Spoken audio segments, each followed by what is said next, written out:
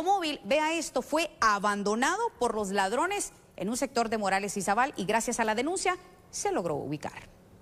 Vea usted que el pasado 20 de junio por la noche, casi al filo de la madrugada, se registró el robo de un vehículo específicamente en la colonia Tecunumán, en la zona 15 de la ciudad, pero no lo va a creer. Hoy fue localizado al norte del país, específicamente hasta Morales y Zabal. Imagínese usted hasta dónde se habían llevado los delincuentes este vehículo. Cabe resaltar que se tenía la denuncia del robo de un pick-up de modelo reciente en un sector de la zona 15. Es en Morales y Zabal donde agentes de esa comisaría reportan la localización.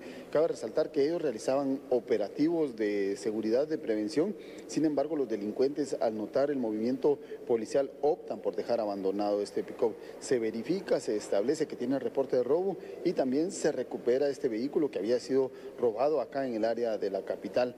Fue algo que pues eh, surge de manera inmediata, los agentes deciden realizar el alto a este los eh, individuos pues eh, se van y al notar la presencia policial optan por dejar abandonado el vehículo. En otro caso, dos hombres fueron capturados por transportar